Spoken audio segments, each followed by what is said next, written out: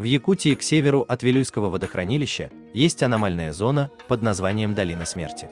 В ее бескрайних болотах в разное время были найдены 8 вросших в землю перевернутых котлов из сплава неизвестного науке металла, происхождение которых также до сих пор остается загадкой для ученых. За все время своего существования, а это многие тысячи лет, котлы не окислились и не поржавели. А трава и деревья растут возле них особенно буйно. Много раз местные жители пытались изучить поближе эти загадочные артефакты. Несколько смельчаков даже как-то взобрались на один из них.